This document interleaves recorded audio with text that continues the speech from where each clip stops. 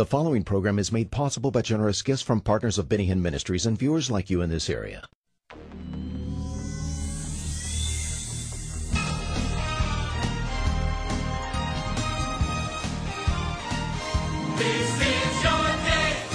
The multifaceted ministry of Benny Hinn is touching the world with the saving, healing, and life-changing gospel of Jesus Christ through massive crusades, daily television, feeding programs, orphanage support, church planning projects, and much, much more. Stay tuned for the next 30 minutes because this is your day to experience God's miracle working power in your life.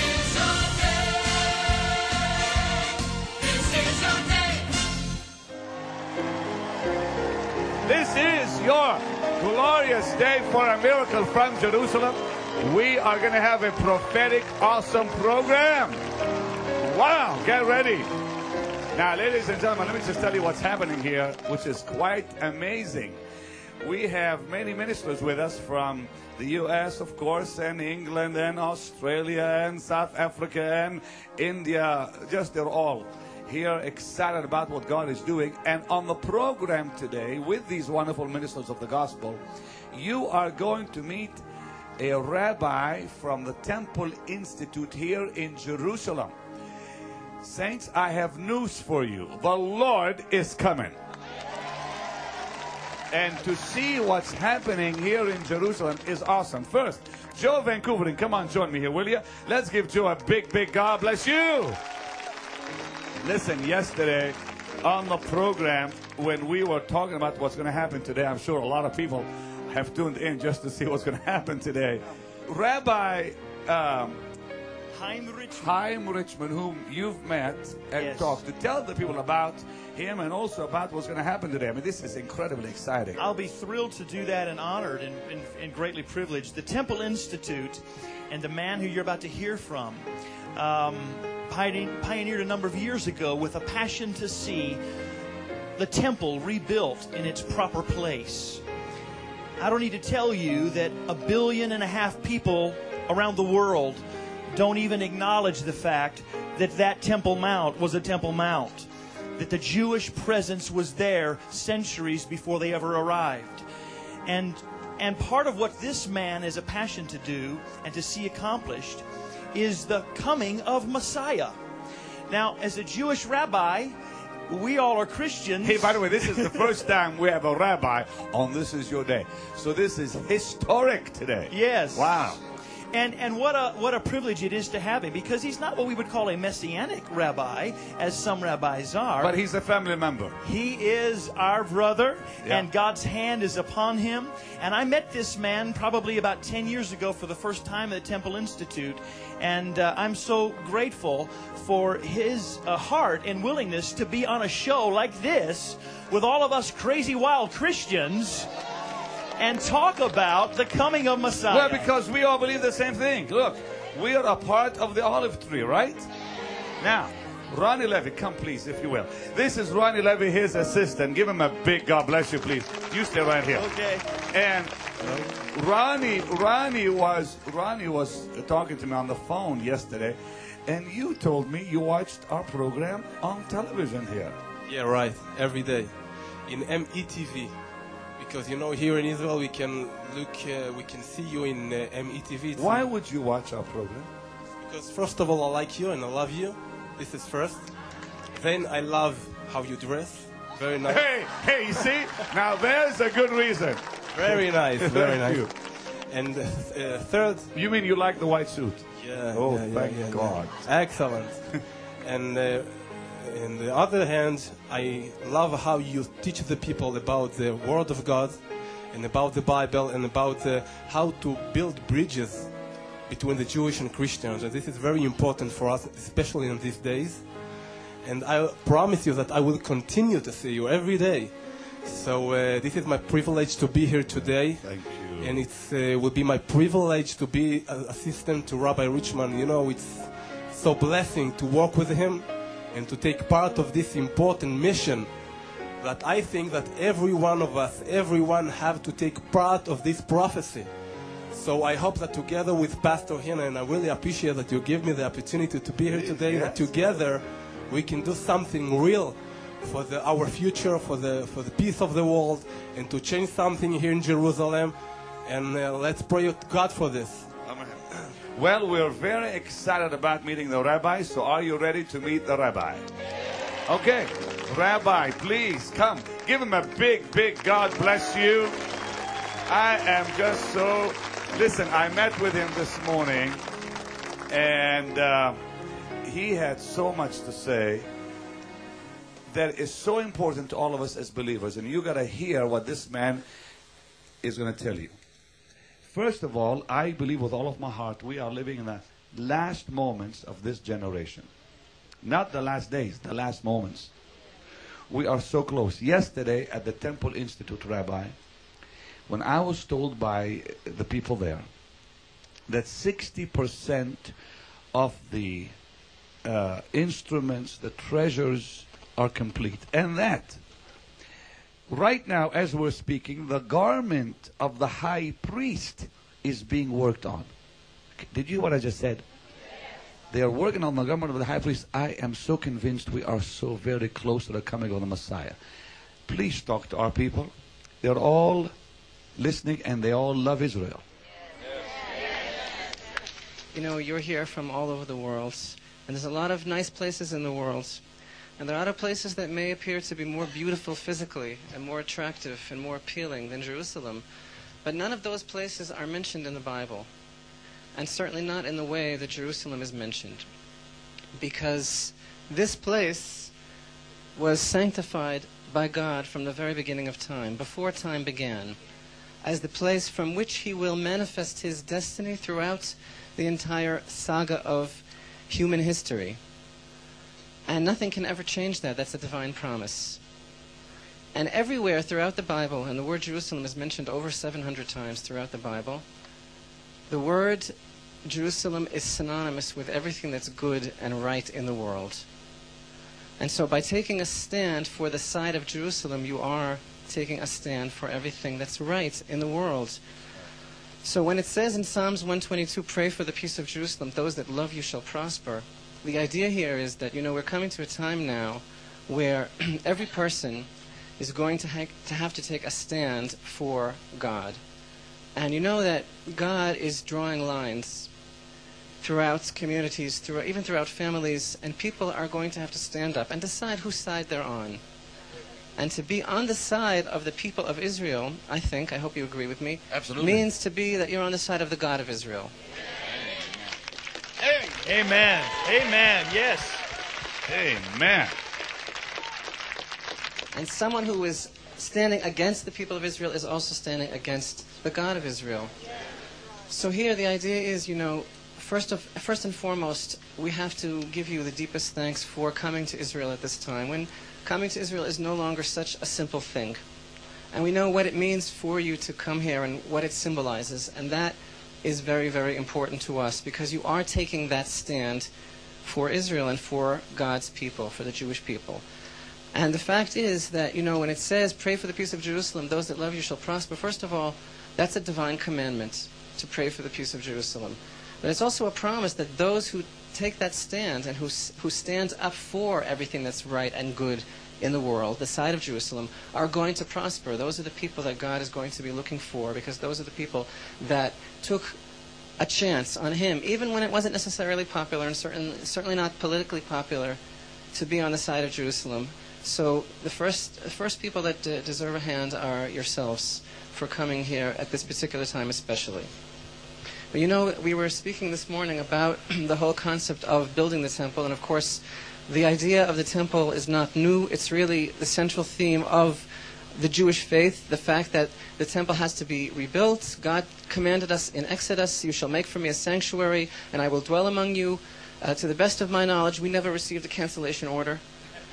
Uh, not for not for that commandment and not for any of the commandments. And the idea is that we are steadfast in our belief that the temple is going to be rebuilt, and every prophet of Israel, without exception, tells us that the particularly the time, the epoch, the era of the third temple, is the time which is going to unite all of humanity in a true recognition and understanding of who God is. And that's certainly the time that all of us who share roots of biblical faith have in common. But you know, there's an expression timing is everything. And so here you are now, and I believe that there is a tremendous significance all the time when we look at the mysteries of the, the Hebrew calendar and the fact that all of the uh, appointed festivals and in general the calendar of the Jewish people is a divinely appointed life experience. This Hebrew month, the month of Cheshvan, is the only month of the year that does not have any holiday or any festival commemoration of any sorts. The only month of the year. You know, we just finished now the whole cycle of Rosh Hashanah and Yom Kippur and Sukkot, the days of awe and the tabernacles, and now we're coming into this month, which is not marked by any major festival. and so, you know, this month may feel a certain amount of embarrassment or remorse or grief over the fact that she doesn't have any of the special occasions on the Jewish calendar. But there's actually a very great secret that our sages of blessed memory teach us about the month of Cheshvan, and that is that it's true that it doesn't have any holidays that occur, occur in it, but that in the future, in the rectified world that we look forward to, there's going to be a very special holiday in this month which is going to outshine all of the other holidays in its joyousness, and that is that this is going to be the month of the dedication ceremony of the new temple. I bet you didn't know that. No, I did not know that. That's amazing. So here you have chosen to come now at this time, uh, unbeknownst to you that this is, as it were, on hold for such an important occasion as the dedication of the temple. And here we sit now opposite the site of the Holy Temple. So this is something replete with a great deal of, of meaning. Now, Rabbi, I, I want you to tell our people, as you did to me this morning, with me this morning, about the, the, the, the preparation that are in, uh, in place now and are taking place now for the rebuilding of the temple. We believe, the Jewish people believe, that it is a positive commandment to rebuild the temple. This commandment is not dependent upon uh, anything supernatural to happen, uh, and it's certainly not dependent on um, on some initiative for God to launch, and it's not dependent even on the coming of the Messiah. It's something like the other commandments which we are obligated in as far as our a facet of our relationship with God. So just as the Jewish people are obligated to keep the Shabbat, the Sabbath, just as the Jewish people are obligated in the dietary laws, so also we have an obligation to rebuild the temple. Obviously, it's difficult to separate the issue of the temple from its political overtones. I'm not a politician, and neither is our organization in any way political.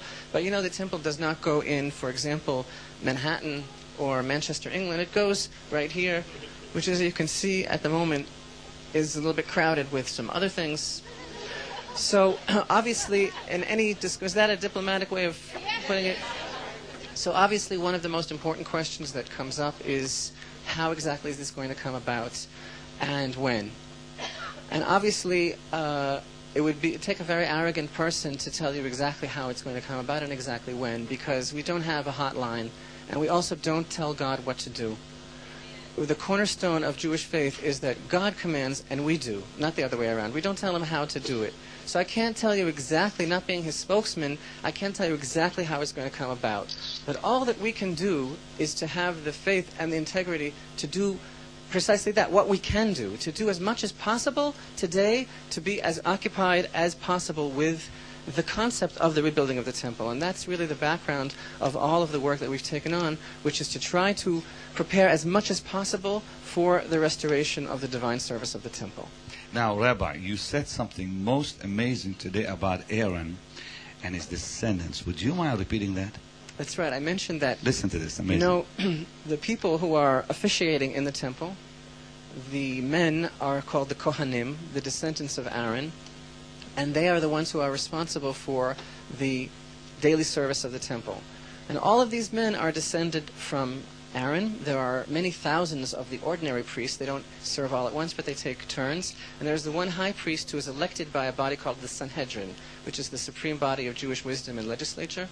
And there is a very amazing idea, which is that a number of years ago it was discovered that there is a particular scientific and even medical proof that we can uh, to determine who is descended from Aaron, because there is a particular chromosome which is peculiar to all Jewish males that are descended from Aaron that no one else in the world has. No other female Jews, even descended from Aaron, no other people. But any Jew from all over the world, whether they are black or white, from whatever country their origin is, they all share this particular chromosome. Why is that an important and exciting thing? Because there are two verses in the Bible which tell us that God says that between me and Aaron it is an eternal covenant forever. So we see how the Word of God never comes up empty. The fact that the temple has not yet been rebuilt does not matter. These men carry that very word as an imprint in their very makeup in their very bodies, waiting again for it to be activated in the time of the temple. That is amazing. That is amazing. Did you hear what he said? Yes. Rabbi, um, I asked you this morning about the Ark of the Covenant.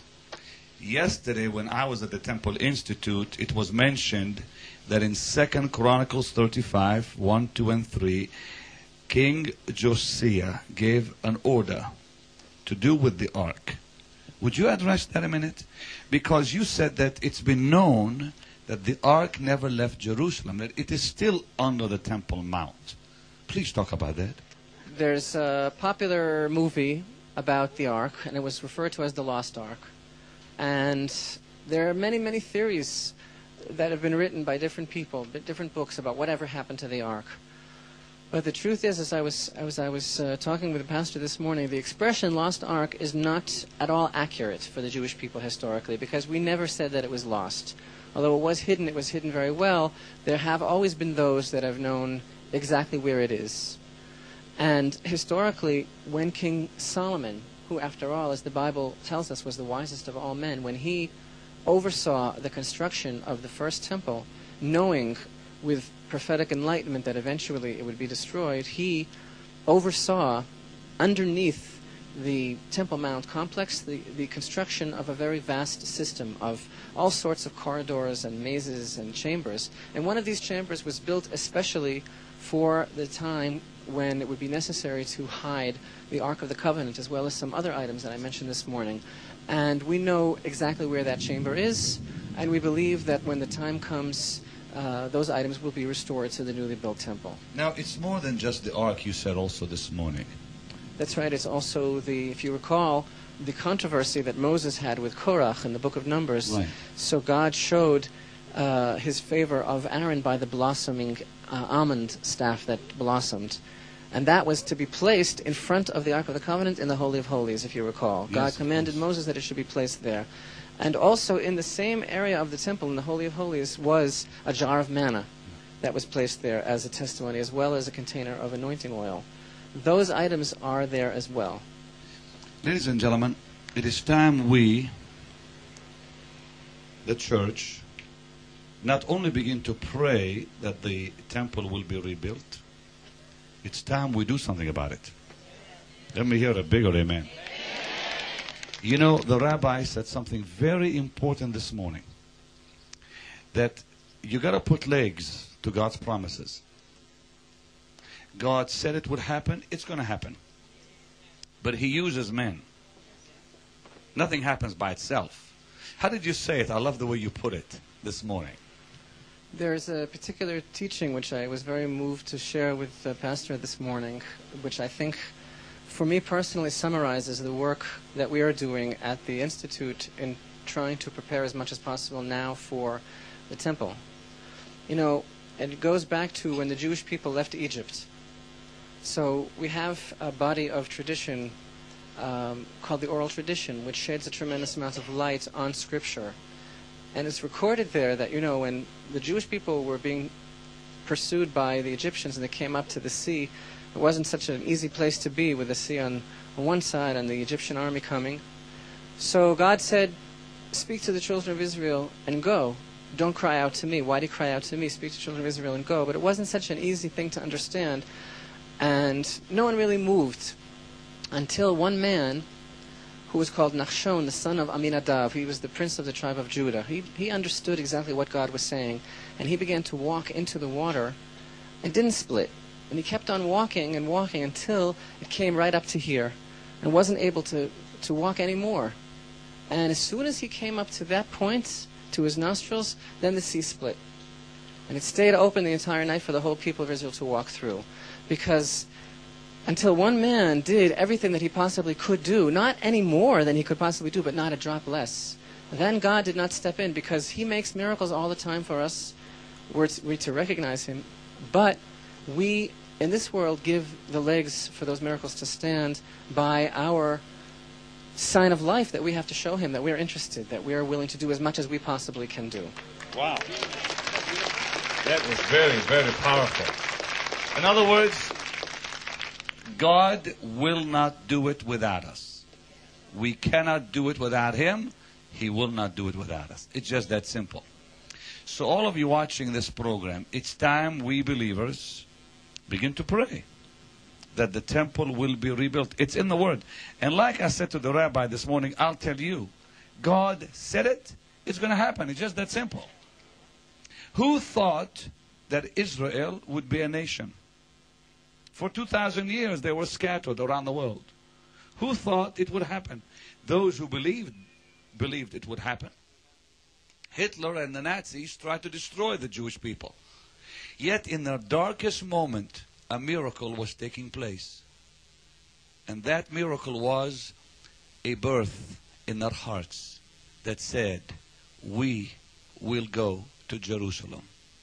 The Jewish people around the world began to dream, began to desire with all of their hearts to see their land restored. That dream had to live before it became reality. And I believe that God is about to give life to this dream of rebuilding the temple. And then it will become reality. It's the Word of God. What part we will play, we don't know. But I believe it's important we all pray and seek God. And if God says, do this, well, go do it. Look, 2,000 years ago, God's people left this land. 2,000 years later, they come back speaking the same language. Because the prophet Jeremiah said they would. Now, many of you live in the U.S. and other parts of the world, but your forefathers were probably Italians and Swedes and Greeks. Most of you don't speak Italian, Greek, and whatever else. And only after 200 years, 2,000 years is what we're talking about. They come back speaking the same language 2,000 years later. Why? Because God said it. A miracle took place. They were scattered for 2,000 years. God said, I'll bring you back. When the whole world said, impossible. It happened. Why? God said it. Now you're looking at another, what looks like impossible situation. No, no, God said it. It's going to happen. That's simple. Satan and all his host cannot stop what God said. It's going to happen. And the people of God said, Let's stand, please. We're going to pray. We, we're going to pray for the peace of Jerusalem. We're, we're going to pray that God Almighty will bring peace to this land. Thank you, Rabbi, for being with me today.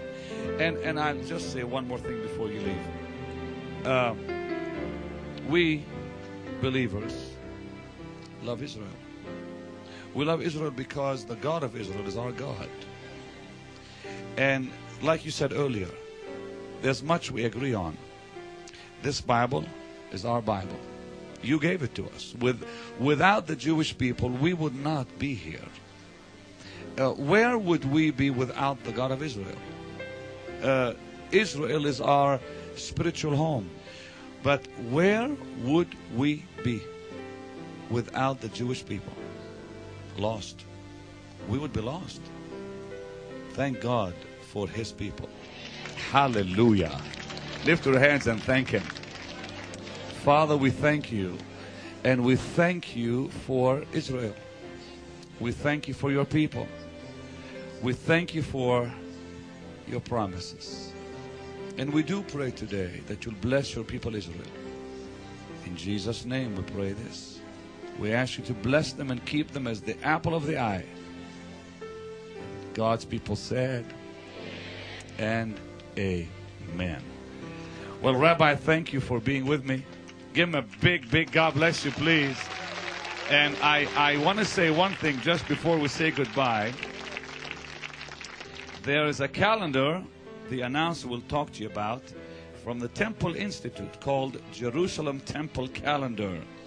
And this is a calendar that just been put out by the Temple Institute. Uh, would, would you mind coming and talking to me about that a little bit?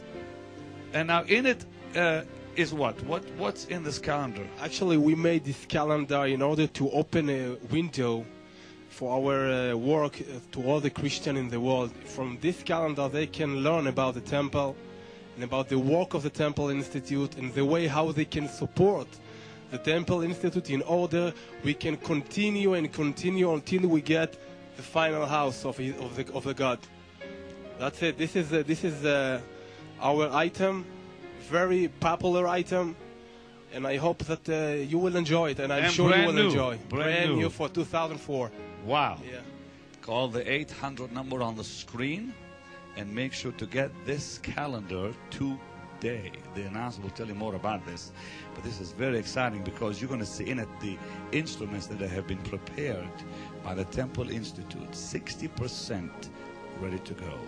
Wow. To God be the glory. I'll see you tomorrow for another incredible program. Give the Lord a mighty hand of praise. To Jesus be the glory. And God's people said, Amen. The 2004 Jerusalem Temple calendar offers a unique glimpse into the magnificent world of the Holy Temple, as well as providing a beautiful introduction to the work of the Temple Institute of Israel, which is dedicated through research, education, and action to every aspect of the divine commandment to rebuild the Holy Temple. This beautiful calendar is filled with illustrations depicting various aspects of daily life in the ancient temple, along with photographs of some of the actual sacred vessels that have been recreated by the craftsmen and scholars of the Temple Institute. In addition, the months, feasts, festivals, holidays, and seasons of the Hebrew calendar are noted along with historical explanations. And now, for a limited time during these special This Is Your Day programs from the Holy Land, Benny Hinn is making the 2004 Jerusalem Temple calendar available to you for a gift of $35. Call toll free 1 800 433 1900. Order online at www.bennyhinn.com or write to Benny Hinn, P.O. Box 16 2000, Irving, Texas 75016. Those who recognize and understand the amazing prophetic significance of the work of the Temple Institute will certainly want to have this beautiful calendar in their homes. Write, call, or order online today. Benny Hinn's next Great Miracle Crusade will be in Waco, Texas, December 4th and 5th at the Heart of Texas Coliseum. The 2004 Crusade schedule begins in Orlando, Florida, January 22nd and 23rd at the TD Waterhouse Center and continues in Phoenix, Arizona, February 26th and 27th at the Veterans Memorial Coliseum, and Beaumont, Texas, March 25th and 26th at the Montagne Center. Next year's Good Friday Candlelight Communion Miracle Service will be April 9th at the Kemper Arena in Kansas City, Missouri.